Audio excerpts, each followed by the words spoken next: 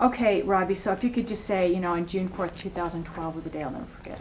Look at the camera. Or? No, just me. Okay. I'm sorry. Um, June 4th, 2012 was a day I'll never forget. Great.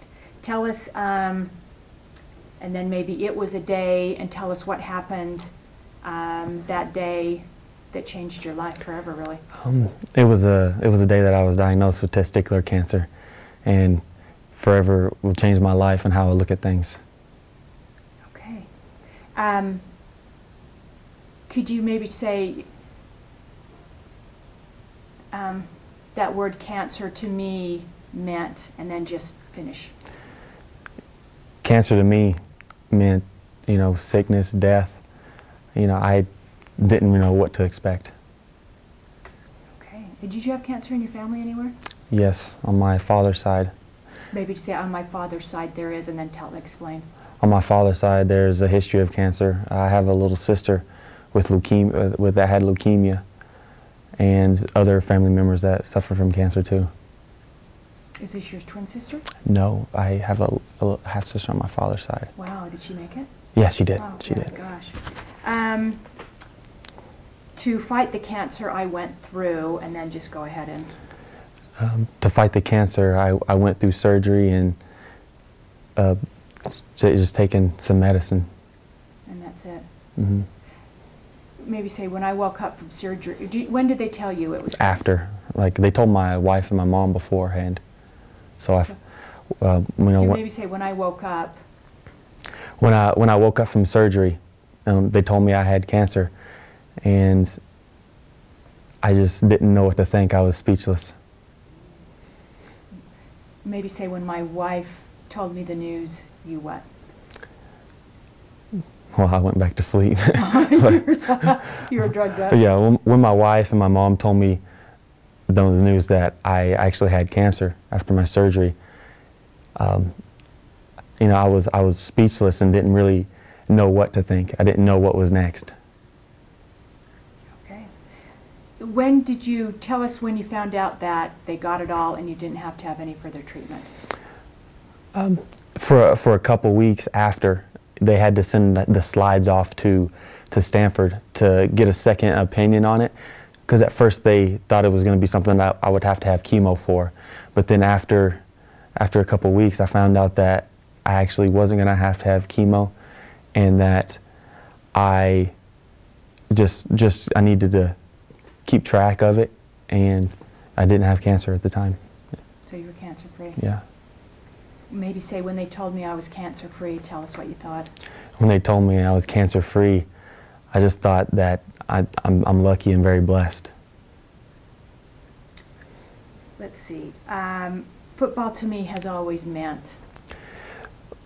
Football to me has always meant overcoming obstacles in a game and in practice and life in general. You're gonna you're gonna come up to things that you know are difficult, and I think that if it if it wasn't for football or wasn't for what I've learned at, at BYU, I would have you know never came out on top like I did. I would have never been able to overcome the stress and everything that comes with having cancer.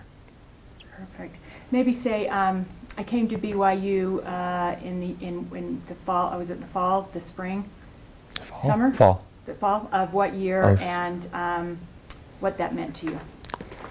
Um, when I came to BYU in the fall of 06, you know, I was just I was just happy. I didn't really know what to expect, but I knew that I was living my dream. It's something that I've always wanted to do. Come to BYU, you know, play football at BYU was something that I I- I've always wanted ever since I was little. I know that like I remember when I was getting recruited. Um, if I would have got recruited by any other big school, I still would have committed to BYU just because, you know, I've always loved this place so much.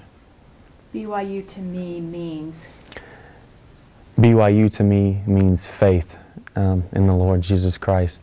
I know that without without Him, I wouldn't be where I'm at today. I wouldn't have I wouldn't have all the, you know, I wouldn't have a scholarship. I wouldn't have just other things that come with it. I wouldn't have my wife. I wouldn't have uh, my family, like, you know, so united like we are. And I'm I'm very thankful for that.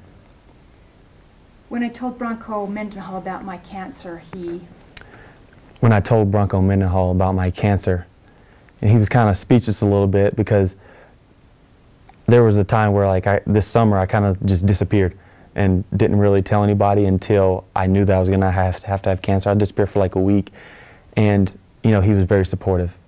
He asked me if I needed anything, just give him a call. Was always wanting to be up to date, and I'm I'm very thankful that he was he was there for me and supportive. For, when my teammates learned about it, they, And uh, when my teammates learned about it, you know, they didn't really believe me at first. They were like, "Are you serious?" But when I told them, like, "Yeah," they they were just they were, you know, very supportive and concerned, and I'm very thankful for everyone and all them, all my teammates. They they've really helped me through this, and even when I came back, they've shown me, you know, the utmost love and just been there for me and very supportive. um, I came back to the team, do you remember the day or when it was? Um, it was Maybe not the exact day, but end of August. end of August. Maybe when, when I came back to the team at the end of August, that meant to me, when I came back to the team at the end of August, that meant to me that, you know, I've, I've won. I've overcome what has, has put me back. I knew that going into this season, oh, I, I didn't really know if I was going to play uh, going into the season because, you know, having cancer, it takes a toll on you mentally. And I knew that at the moment, you know, whenever fall camp started, I wasn't going to be able be able to do it. So whenever I came back, I was I was super excited. I was just happy to be around my teammates, my coaches, and just be back into football. my prognosis for the future is, What's that? What you mean, like for cancer? yeah, My prognosis for the future is you know, cancer free. I have a I have a checkup in in December, so we'll see what goes was good. But you know, ever since I had cancer, I've always you know been doing self checks and just making sure that uh, I'm good. uh, good. So, you know, it's my prognosis is good. having a disease like cancer has taught me having a disease like cancer has taught me that there's worse things that can happen to you. You know, even if a football season or school or life doesn't go the way you want it to, there's always worse things that could happen. Even with me, there's there was worse things that could have happened with my cancer, but I was really extremely blessed and lucky that I didn't have to go through chemo. I didn't have to go through all that stuff. Now that I've been given a second chance to play football, I want my final season to be, Now that I've been given a second chance to play football, I want my final season to be memorable. I just I just want to be here for, for my team. I just want to be here and show people that you know it's possible to come back from things like that, and that, like I said earlier, there's there's worse things that can happen to you, and that we're extremely blessed to be here on this earth. And if we don't take life, you know, a day at a time, and you know, and do it to our fullest, you know, we're, we're not doing our best. life for me today is, Life for me today is, you know, the same like it was before. A lot of times I even forget that I had cancer.